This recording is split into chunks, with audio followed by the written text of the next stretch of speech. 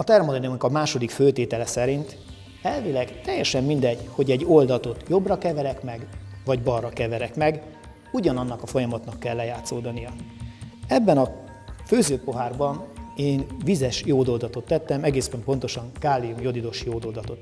Nézzük meg, mi történik, ha jobbra keverem meg ezt az oldatot. Semmi. Még egyszer. A jobbra keverés hatástalan.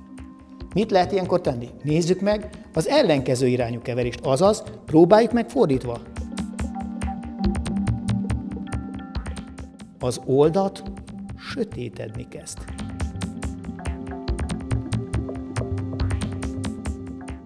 És az ujjam is. Vajon mi történhetett?